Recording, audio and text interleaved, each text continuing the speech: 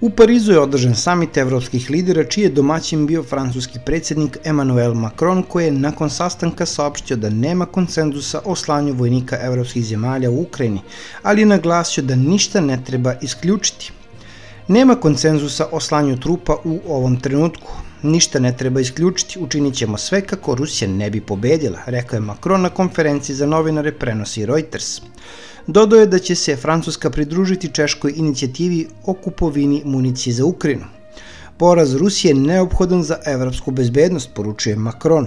Naveo je da će evropske zemlje uvesti dodatne sankcije zemljama pomoću kojih Rusija zaobilazi restriktivne mere koje su joj uvedene.